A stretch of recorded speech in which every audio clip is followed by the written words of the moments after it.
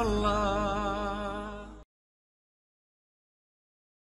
بسم الله الرحمن الرحيم الحمد لله رب العالمين وصلى الله وسلم وبارك على عبده ورسوله الأمين نبينا محمد وعلى آله وصحبه أجمعين Dear brothers and sisters in Islam, alaikum wa rahmatullahi wa barakatuh. Hadith number 24 in the series of Al-Arba'in al-Nawawiyah, the 40 hadiths compiled by Al-Imam al-Nawawi. This hadith was narrated by Abu Dharr al-Ghafari, may Allah be pleased with him. He said that the Prophet said, alayhi salatu wasalam, Allah the Almighty said. Now is this a hadith or is it Quran? Because the Prophet said, alayhi salatu Allah the Almighty said. This is known as Al-Hadith Al-Qudsi, meaning that this is a hadith that the Prophet reports, sallallahu alaihi wasallam, that Allah said. Yet it is not Quran. Therefore we have these three categories. The Quran, which is the word of Allah given to Jibril, revealed to the Prophet wasallam.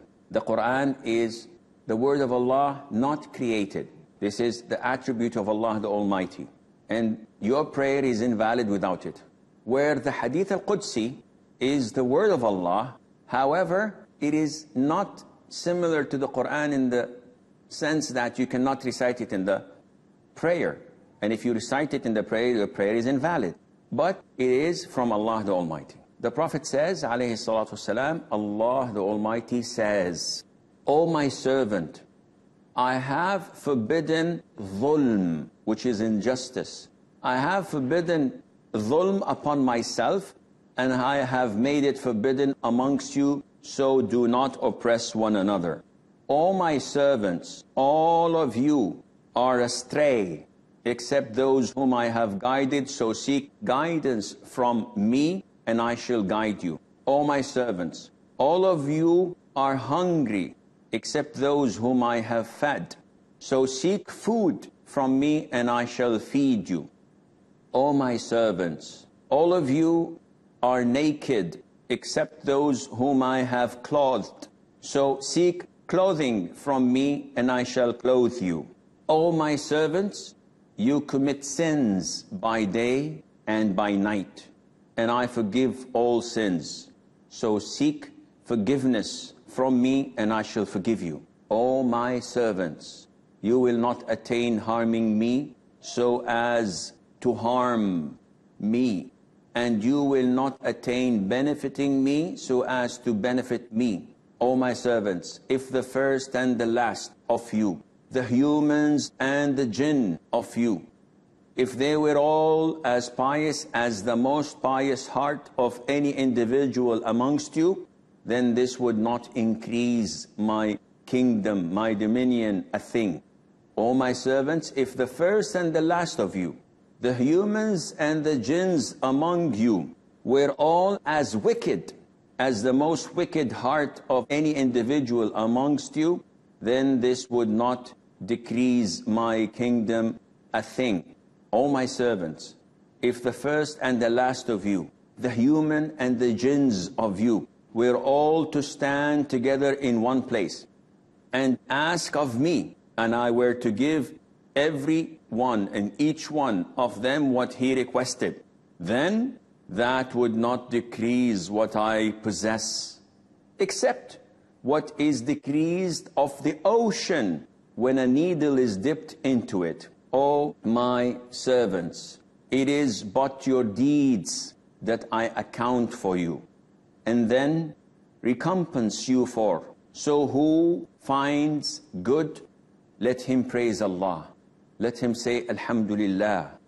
And he who finds other than that, let him blame no one but himself.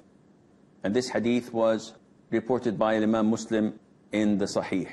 This beautiful hadith is long, yet it revolves on acknowledging the Tawheed of Allah in Al-Rububiyyah and the Tawheed of Allah in Al-Uluhiyyah and His beautiful names and attributes. So it revolves around the Tawheed. Allah the Almighty is praising Himself.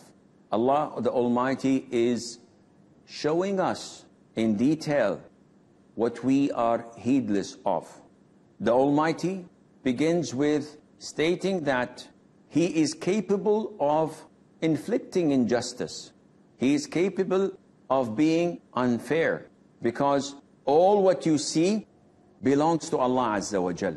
Therefore, whatever He does, no one has the right to hold Him accountable or to question His deeds. And therefore, if Allah wanted to annihilate all of this universe and what lives in it, no one can say, this is unfair. No one can question Allah Azza wa Jal. But Allah the Almighty, with His grace, made injustice forbidden for Himself. So upon Himself, He made it forbidden. Meaning that He had said it, He had acted upon it, and no injustice will ever be shown from Allah's side. And once you believe this, and once you understand this, this puts you at ease. Because so many times people get these whispers from shaitan telling them, why is this happening? When there is a disaster, when there is a tsunami, when an earthquake or a, a volcanic eruption, children die. Innocent people we see die. Shaitan casts his doubts. Why Allah is killing the children? This is unfair. What had they done? And subhanallah, no one has the right to judge Allah or to question Allah's actions. If you believe that Allah is fair and just, and in this hadith, we take this because Allah's word stated that He made dhulm or injustice forbidden upon Himself.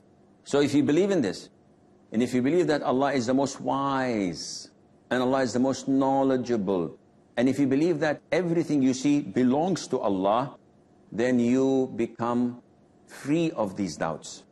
And you feel at ease. Your heart is at ease and you feel the tranquility. Why? Because you understand what you see is definitely not what you think. So you would never have these doubts because you believe that Allah is always fair and always just. And this is part of His justice. The children, if they die, they'll go to paradise. No problem, non-stop. But this is a calamity and Allah is testing the parents. Allah is testing the relatives. Allah is testing you who are watching and at the same time you're complaining.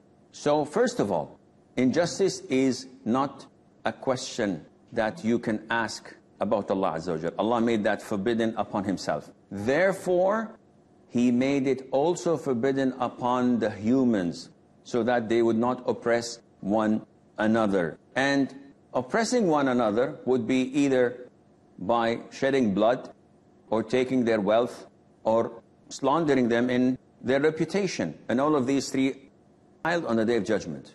So if I made forms of aggression towards another Muslim, if I beat him, if I took his money, if I backbit him, if I did any of these bad things, it will all haunt me and come back to me on the day of judgment and I have to give from my own good deeds to him.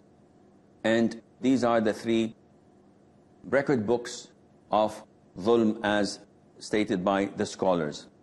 Now, the Prophet ﷺ tells us that Allah says all mankind are misguided, are going astray. They are all ignorant.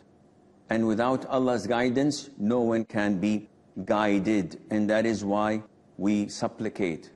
Ihdina sirat al-mustaqim. Guide us to the straight path. Every single prayer. And that is why we say in dua al-qunut in witr, Allahumma hdina fi man hadayt. Guide us among those who you have guided. And the Prophet ﷺ, the majority of his supplication was that, O Allah, turner of the hearts, turn my heart to be on your straight path and to be on your religion. Without asking Allah for guidance, without the guidance of Allah, we will be all astray. We have a short break. Stay tuned. And inshallah, we'll be right back.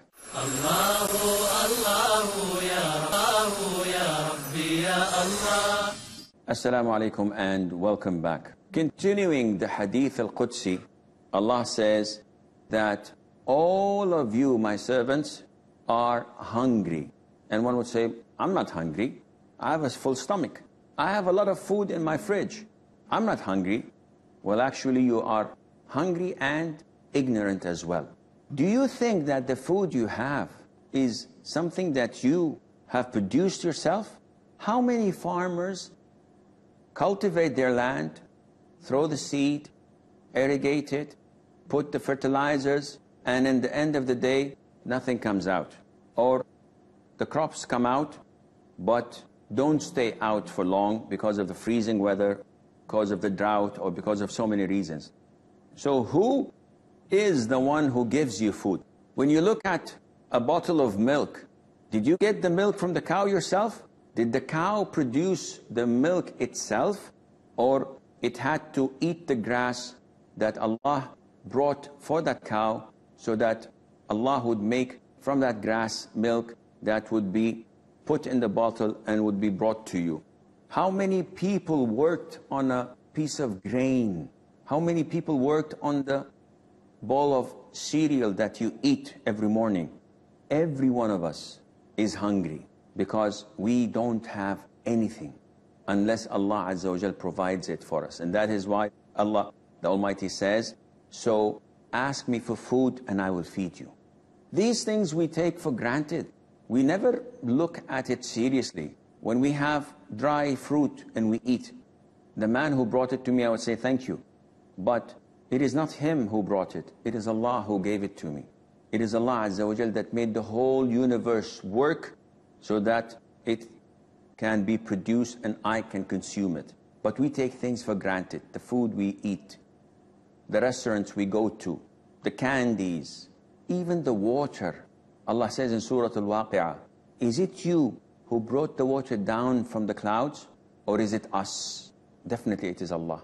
If Allah wished, this water would not be sweet and drinkable. It would be salty. It would be undrinkable. So we have to ask Allah Azza wa Jal to feed us because without Him, we have no food. Allah says, all of you are naked. I'm not naked, I'm fully dressed. When I came from my mother's womb, I was butt naked. Not only that, I did not know anything. Wallahu akhrajakum min butuni ummahatikum la ta'lamuna shay'a. Allah got us from our mother's womb with no knowledge. And look at me, healthy, strong, brave, smart. I have university degree. I have a good job. I have money. I have this. Is it because of you? Yes. No, it is from Allah. When you came out to this world, you knew nothing. You understood nothing. Allah taught you. Allah brought you up. Allah gave you all of this. And what do you do? Do you say Alhamdulillah? Or you sin with the things that He provided to you. Instead of showing your gratitude, you're showing your kufr. You're showing your arrogance and disbelief by not thanking the one who gave it to you. So ask Allah to clothe you. We ask Allah to clothe us, and Allah would clothe us as well. And then all of this, the food, the clothings, without Allah Azza wa Jal, we are poor and we have nothing. So all what you see is from Allah the Almighty. The blessings that we are living in, it is from Allah the Almighty. And this is part of Allah's generosity, that He shows us how deep in need we are to Him, so that we are never heedless from this fact. And Allah tells us that mankind, by default, they are sinful. They sin in the day, that is the morning, and they sin at night. So what to do? This is human nature. Allah says to us, no one can forgive your sins except Allah. So seek my forgiveness and I'll forgive you. Seek my forgiveness. So ask yourself, how many times do you ask Allah for forgiveness? Seek forgiveness of what? Or from what? From your sins. But I have so many. Even though I have serious, major sins, no problem. Do not be despaired of Allah's mercy, for Allah forgives all types of sin. He is most forgiving and merciful subhanahu wa ta'ala. Never despair. Always keep on asking Allah for forgiveness and Allah, the Almighty, would forgive you. The Prophet ﷺ tells us that prayer to prayer, Ramadan to Ramadan, Jumu'ah, Friday to Friday, what's between them is forgiven. Allah is most forgiving if you know Him. But if you don't, if you're ignorant, if you're heedless, then you have a problem. Of course, we're not going to go into details whether the forgiveness is for major and minor sins or not, but the most authentic opinion is that major sins require repentance. So you don't go to the bar every single day and at, night say, oh Allah forgive me, and then you go the following day and you don't have any remorse or you don't show any repentance. Allah would not forgive you because this is a major sin. It needs repentance and it needs showing remorse. Minor sins are forgiven as long as you pray, as long as you do what Allah said that by avoiding major sins, Allah forgives the minor sins.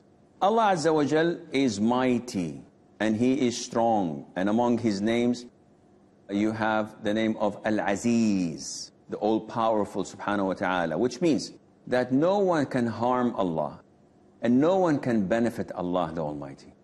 So being mindful of this, you know that if Allah is with you, you have got everything. And if Allah is not with you, you have lost everything.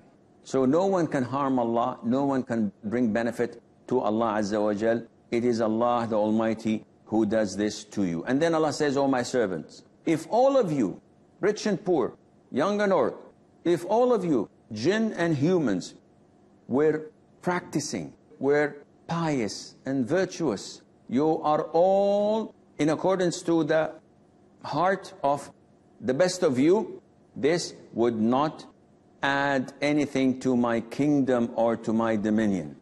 Nothing. And do you think Allah Azza wa Jal benefits from our forms of worship?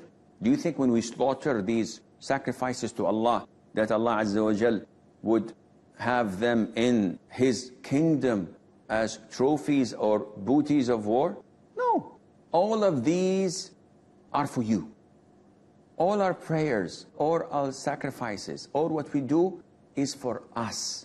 It would not increase in Allah's kingdom. And likewise, if the whole of humanity and the jinn, the first and the last, we're all wicked, we're all disbelievers, we're all bad and evil people, this would not reduce a single iota from Allah's kingdom and Allah's wealth. And we understand from these sentences that if you do well or if you do sin, this would not affect Allah the Almighty. However, you should try your level best to do good deeds and to stay away from sin. And when it comes to wealth, Allah tells us that if every single person, if every single living creature, jinn, humans, etc., were to stand in one place and ask Allah, what I would ask from Allah, I would ask for the whole earth. I would like cars, I'd like women, I'd like children, I'd like palaces, I'd like gold and gold and gold. I like a lot of money that would never end. And Allah gives it to me. And He gives that to all the trillions of His creation who ask Him similarly. If Allah gave all of us what we wanted, Allah tells us that this would not reduce or deduct anything from my kingdom. Why? Because it's still your kingdom. We're still in your dominion. Not only that, he said, except that a needle would be dipped in an ocean and then taken out. How much water has been reduced from that ocean? Nothing. No one can even count it or look at it. And it's the same thing with Allah the Almighty if He were to give all of His creation what they want. So Allah is so rich that it's beyond our imagination. Yet we still feel that we're deprived. Allah is not giving us enough.